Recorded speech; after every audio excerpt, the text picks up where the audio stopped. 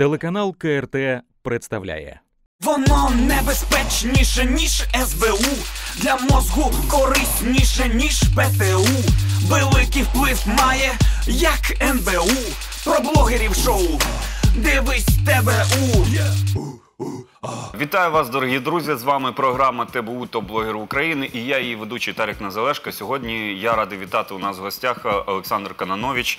Е, Він замголови антифашистського комітету України. Вітаю нас в студії. Очень приятно, здравствуйте. Е, Олександр, одразу хочу анонсувати і сказати нашим телеглядачам, що у нас е, Олександр і Михайло Канановичі зараз ведуть програму, яка називається Лєвий Лев- взгляд. Да. Е, Розкажіть, будь ласка, про вашу програму, проанонсуйте, що це таке і чому варто її подивитися. Э, Очень э, рад сообщить, э, ну, говорится, нашим товарищам, антифашистам, левым, что под крышей КРТ в прямом и в переносном смысле э, мы э, начинаем еженедельную цикл, еженедельный цикл э, телепередач, они примерно по формату будут час идти, где э, будем обсуждать э, левое движение, левые партии, антифашистскую тематику. И э, будем э, каждую передачу мы будем поднимать вопрос, что сделать для того, чтобы левые на Украине объединились. У нас куча проектов, олигархи организовывают проекты левых, э, левых партий, но они не жизнеспособны, мы же видим. И э, Каплин, и Кива, все, грубо говоря, лопнули эти пузыри, не жизнеспособны.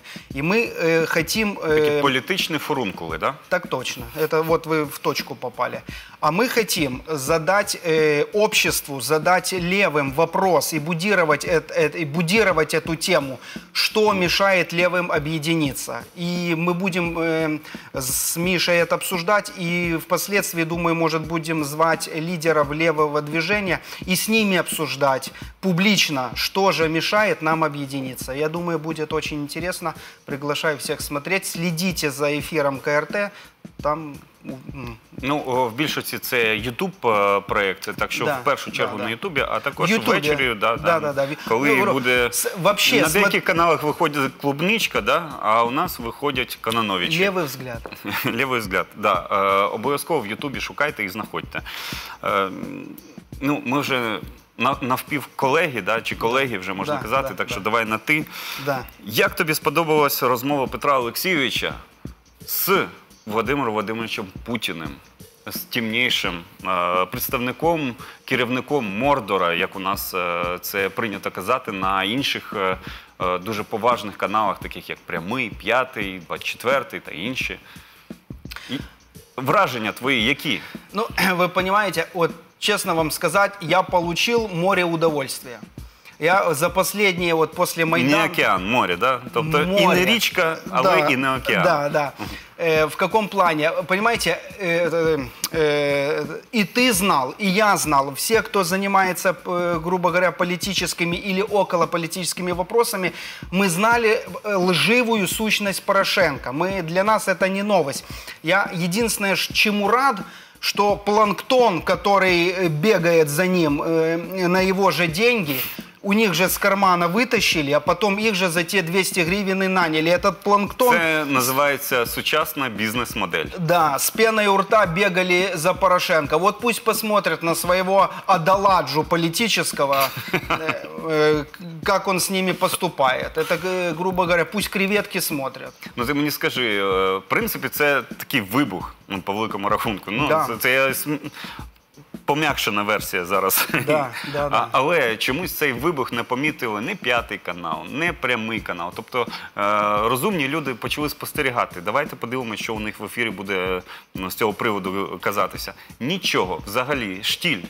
Ну, это, тише. это, это все логично, это же его каналы. Это же каналы Порошенко. Ну как, э, их Тобто, лидер, ми- их тобто лидер... вони об- заангажовані, ти хочеш сказати? Они не то, что не заангажованы, они э, выполняют команды По- Порошенко, бенефициара. Кто э, выгодонабувач от э, информационной лапши этих телеканалов? Петр Алексеевич. Если Петр Алексеевич в прямому ефірі обделался. Ну зачем это це висвітлювати? Тем более им. Конечно, они будут молчать или... Вот мне интересно, что ж, Гонопольский, про Макдональдс, о чем угодно, но не про эту тему. Вот истинное лицо э, демок- демократических СМИ. Мы же знаем, единственный, я э, вам говорю, могу точно заявить, единственный независимый телеканал на Украине – это Киевская Русь. Все остальные под олигарха. А, Скажи, будь ласка, ну добре, ми зрозуміли, це така складна, дорога інфраструктура, п'ятий прямий канал, тобто ну, їх отримують. Але є е, такі, ну як вони кажуть, незалежні патріоти, такі як е, Карась, С-14. Чому вони не зібралися всім гуртом, всі, всі 15 е, чоловік і не пішли е, до резиденції Петра Олексійовича вимагати від нього, щоб він збирав свою валізу та їхав до Ростову? Потому что это националисты, патриоты, это штатные патриоты. Они не от сердца, не от души, они патриоты на зарплате. Как говорится, э, помните, как, Паник- э, помнишь, как Паниковский, профессиональный нищий. Вот они профессиональные э, патриоты. Они же на зарплате под крышей СБУ сидят, Караси и же с ним, сидят под СБУ. А кто был э, при власти тогда? Петр Алексеевич Порошенко. Считай, они были на зарплате. Но как они на своего царя начнут нападать? Э, Такого быть не может.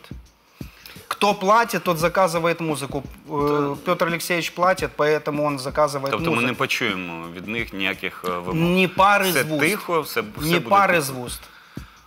Е, Добре, Е, давай перейдемо до іншої теми. Це пов'язано з партією Шарія. Е, Це пов'язано безпосередньо з тими. е, Не знаю, можна це назвати сутички, які відбувалися на вулиці, коли нападали на представників партії Шарія. І ми бачимо, що сам Анатолій Шарій в клінч просто війшов з е, е, адміністрацією президента.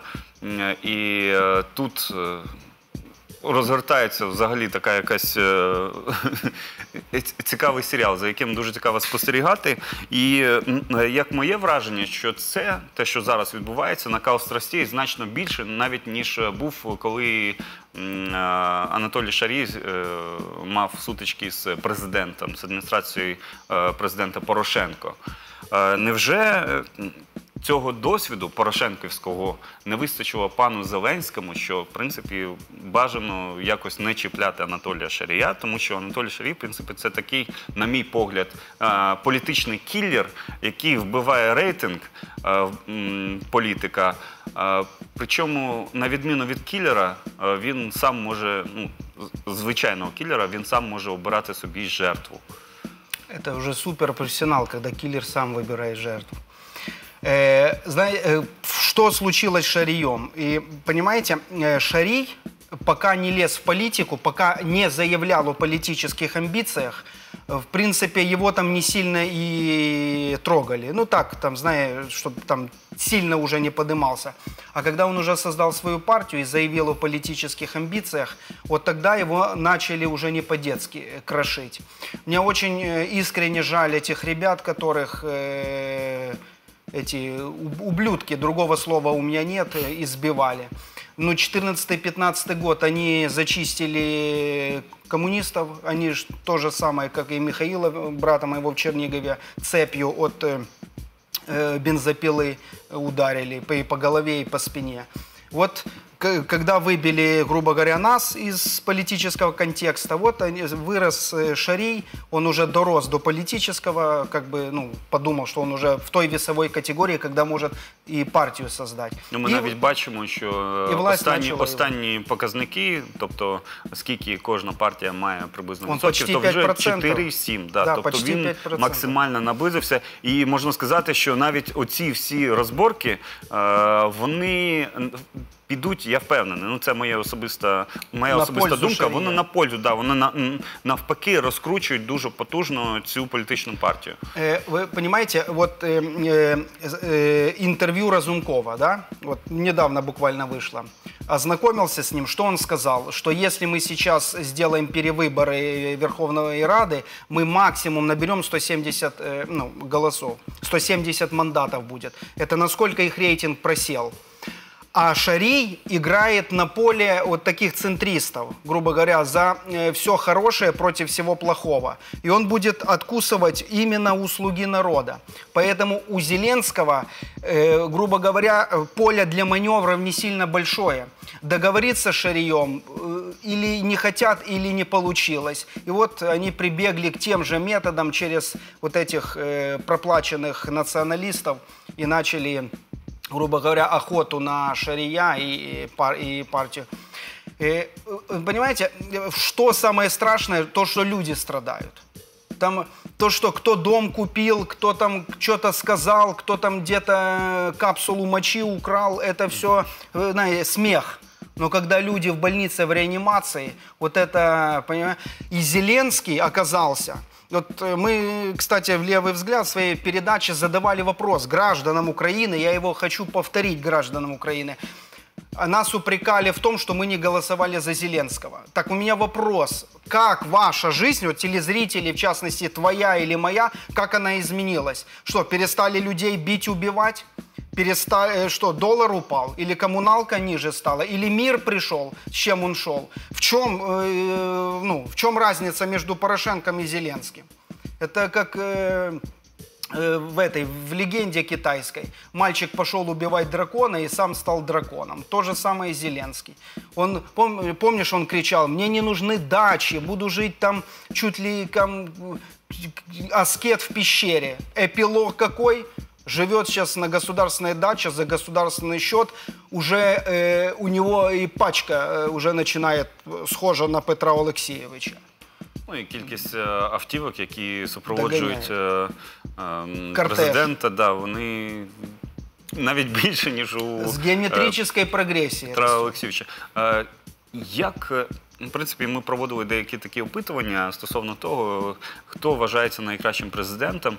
І так сталося, що е, перші президенти, перше місце це у Кучми, потім Януковича, деякий е, е, втік. Е, Недавно 70 лет було.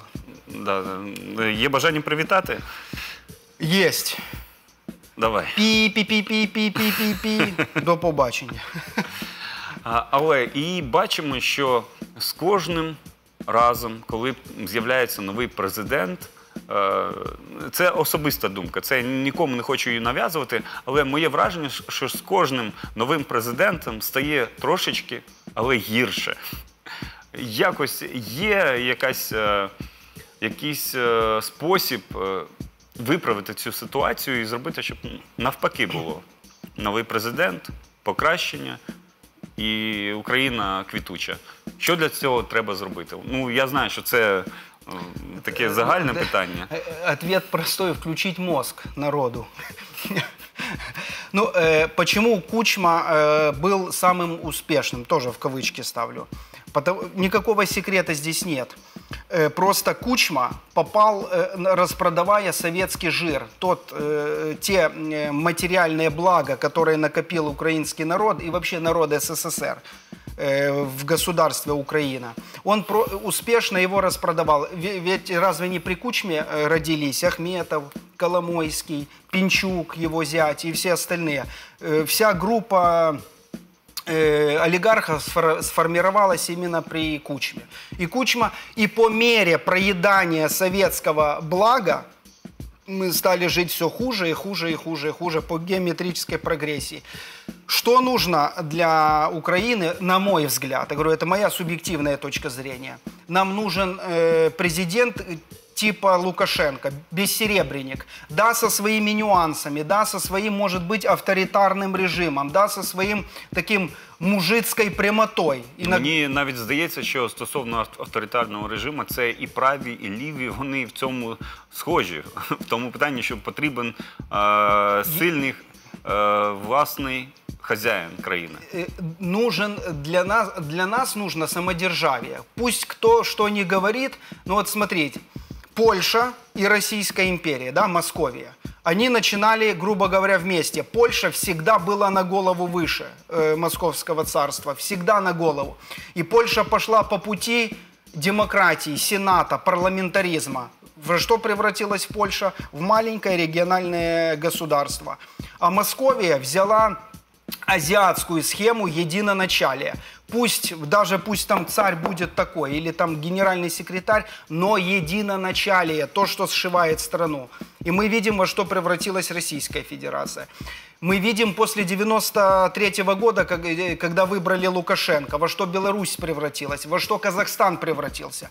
И где пошли по пути парламентаризма Молдова, Грузия и Украина. К чему мы пришли? К какому бесславному итогу? Вірменія. І да, далі можна. Да, да, да. И продовжувати. можно дальше. Плохо или хорошо, но нашему народу нужно единоначалие. Э, Почему все грустят, многие грустят по Советскому Союзу? Мы жили не очень хорошо, но мы не нищенствовали. А сейчас мы нищенствуем. И вот э, нету сломана вертикаль государства. Теперь э, Карась э, обслуживает э, там э, одного олигарха, ходит, бьет людей. Э, Азов другого олигарха обслуживает, бьет людей. Но к чему это приведет? Это приведет к развалу страны. Это к беде может привести. Так поэтому нам нужен четкая вертикаль власти. Кстати, в Соединенных Штатах э, президент и роль премьер-министра и президента выполняет. И ничего, живут, все Ну, в От порядке. якраз хотілося б перейти до Сполучених Штатів Америки, тому що е, нещодавно такий виконавець, достатньо популярний виконавець Кані Уест, сказав, що він готовий піти е, і хоче обратися президентом Сполучених Штатів Америки. Е, твоє враження, наскільки багато у нього шансів е, стати другим чорним президентом е, в Америці? До чого це приведе? І, і вважаєш, якщо, наприклад, Кані Вест дійсно стане президентом, це плюс для Америки чи мінус? Як для держави? Я- І немає різниці, як ти до неї відносишся, просто сторонній. Если бы он сторонній победил, взгляд. был бы плюс, она быстрее бы развалилась. Ну, э, а если серьезно, э, э, этот рэпер, это технический кандидат, э, м, в- который подыгрывает Дональду Трампу. Мы, э, все вот эти бунты черно-афроамериканцев, уже нельзя так называть, надо же э, э, бунты афроамериканцев поддерживаются Соросом и Демократической партией. И Трамп э, чисто, наверное, Манафорт там весточку ему подал, как правильно поступить. Он же Януковичу подсказал, избрался. Вот теперь Трампу помогает. И говорит, э, э, если Байден играет э, на стороне черных и с черным электоратом заигрывает, поставь технического кандидата черного, и он будет у Байдена откусывать голоса Здесь э, Трамп молодец. З одного боку, у Байдена буде відкусувати голоси Кані Вест, ж- з іншого боку, деменція. Ну, в принципі, да, може, И може так, він и так проползет. э, Его в КГБ СССР проконсультировали. Трампа, как надо действовать. Але хотілося б, тобто ти, е, ну я скажу не те, що непогано, ти добре знаєш е, історію і Радянського Союзу. Е, Хотілося б запитати, не бачиш ти таких е, паралелі між тим, що відбувалося в Радянському Союзі, тобто коли вже розвалювався він безпосередньо, і тим, що зараз відбувається в Сполучених Штатах Америки. Про що я кажу? Еліта дуже похилого віку. А, іншої преємственної еліти, тобто покоління, яке наступне, його немає. Є е, про- проміжок в 30 років між поколінням. Тобто є дуже похилого віку, 70, 75, 79, це е, е, м, скільки кандидатам в президенти, і молоді. Аля Брежнєв, Черненко, Андропов. Ну, Так, вот, так, да. І немає цього проміжку між ними. Э, Почему это произошло? Вот на мой взгляд. И Советский Союз, когда Советский Союз стал рушиться, когда он просел в экономическом плане, когда вдруг американцы, когда вдруг а- афроамериканцы поняли в США, что их обманывают или им плохо. Когда? Когда э, долг Соединенных Штатов превысил э, бюджет Соединенных Штатов. У них, допустим, бюджет... Це вже в- достатньо давно. в- да, вось- так, э, 18-19 триллионов их доход, а уже 25 у них долгов. Это у них там на 100 с чем-то процентов превысило. И у них просто нету налички, грубо говоря, чтобы давать социальное пособие этим афроамериканцам. Что стало, вскрыло этот э, гнойник? Это коронавирус, когда э, большинство пог- умерших, погибших от коронавируса афроамериканцы, которые не могут позволить себе нормальную медицину, нормальную страховку. И вот это вскрылось.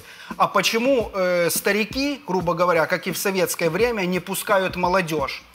Потому что старики дохозяйнувались до того, как и в Советском Союзе, так и в США, что вот этот огромный долг, вот этот профицит, и молодежь им говорит, ребята, надо эту схему э, тупую ломать и жить по-новому.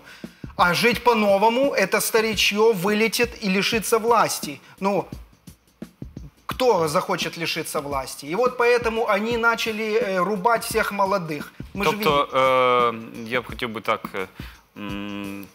обобщити це все. Тобто, винна в першу чергу розвинута медицина для багатих людей, для заможних, тому що вона дозволяє їм е, достатньо Да, довго. в капитализме именно так и, и вот эта система капитализма, почему она уродлива, почему вот я лично считаю ее уродливой, потому что будь ты э, старик, маразматик, но у тебя есть деньги, и ты будешь и с хорошей медициной, и ты будешь у власти. Нету вот этих социальных э, лифтов. Не может Лукашенко, э, не мог бы Лукашенко, председатель колхоза, победить в Соединенных Штатах в их системе выборщика, в их системе координат. И всех молодых оно отсеивает. Даже Берни Сандерс, левый, как бы левый, и то он уже глубоко престарелый.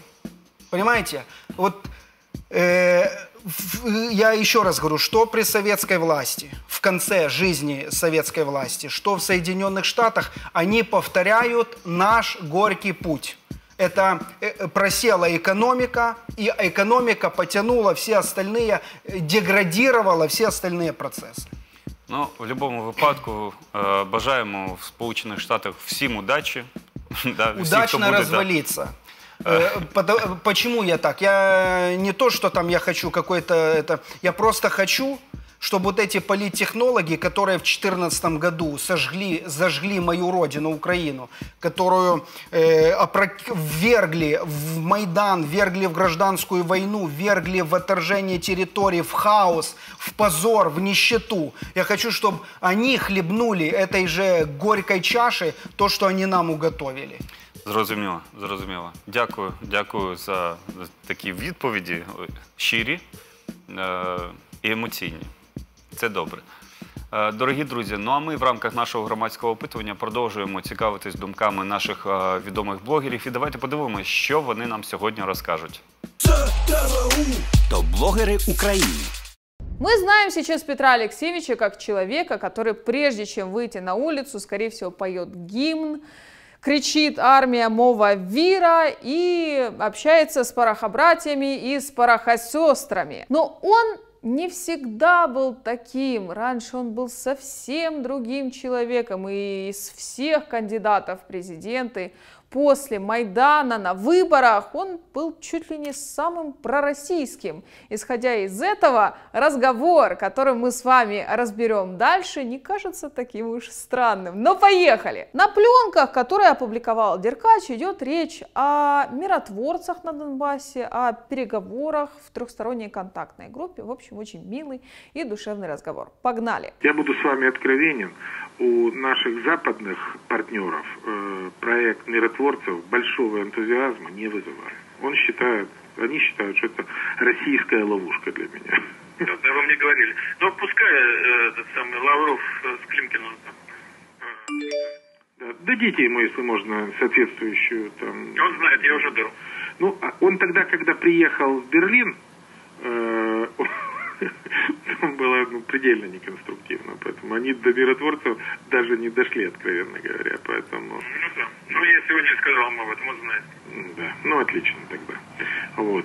И последняя позиция, там, ну, я действительно тоже готов посмотреть и подумать там по каким-то перспективам экономическим, по этим предприятиям, потому что там ситуация, правда, очень хреновая. Я не понял, по каким По экономическим, по экономическим, потому что там ситуация, правда, тяжелая, и она там, переходит там необратимые какие-то вещи. Поэтому я думаю, что и экономику тоже можно будет посмотреть э, во время и рабочей группы, и во время встречи с Ивановым. То есть, получается, Петр Алексеевич абсолютно не видел никаких проблем в миротворцах, а это строгие западные партнеры его предупреждали, что это некая российская ловушка. Дальше Порошенко предлагает обсудить экономические вопросы по Донбассу. Ситуация, говорит, там хреновая. Обычно, обычно, это просто рекомендация. Э, для того, чтобы эффективно готовились э, полноценные минские трехсторонние контактные группы, э,